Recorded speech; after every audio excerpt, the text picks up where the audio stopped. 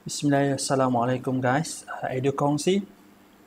In this video, we're going to talk about uh, the Adobe Education apps and this is especially for you guys from uh, Ministry of Higher Learning, universities, uh, institutes, lectures and also staff. Uh, actually, you can get these Adobe apps for free and I'm going to show you how. Let's go. First of all, uh, just open your browser and search for Adobe Education on the search bar here and you look for the Creative Cloud for Education and click on that and you're going to have this landing page. Next, you uh, click sign in. Right here, you should click the continue with Google next uh, click on your institute account and key in your password. Quickly here. Click next. And you will be prompted with a few uh, check here. Uh, you have to check you have to connect your institute account with the Adobe. And just connect your account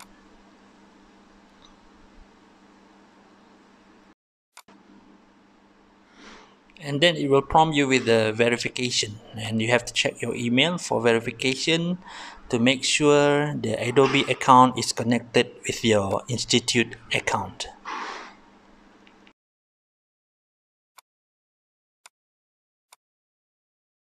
Okay, uh, after you paste and click on the button here and it should be your account is going to be connected. And then you have to click of course you have to accept the terms of use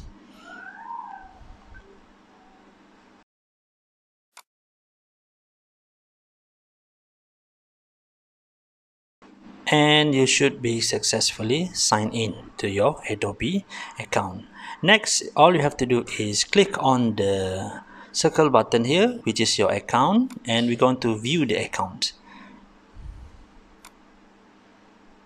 Right, and then eh, in this page, you have to click on the plans on top left but side of your screen and it shows uh, the Adobe for Enterprise being uh, subscribed by the Ministry of Higher Education Malaysia.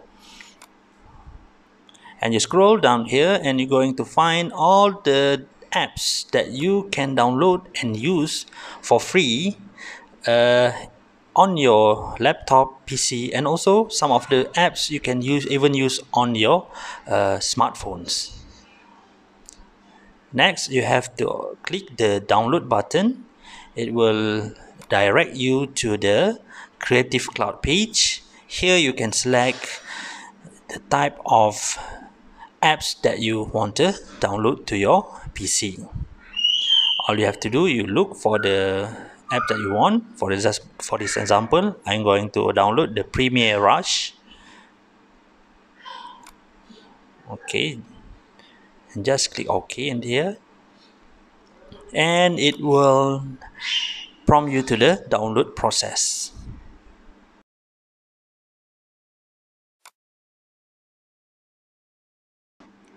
Okay during the download process they may ask you to uh, sign in to your account previously.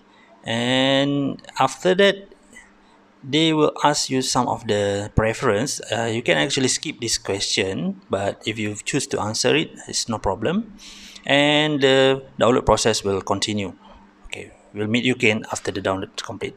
All right so when the download complete you should find the icon on your desktop and you click on the icon and you can click open on the apps that you downloaded previously right? For this example is I downloaded uh, Adobe, Adobe Premiere Rush uh, a video editing software that is simple quick and easy to use for your video editing purposes. I hope you guys benefit from this video and give a comment below if you have any question and don't forget to subscribe. Thank you very much and see you next time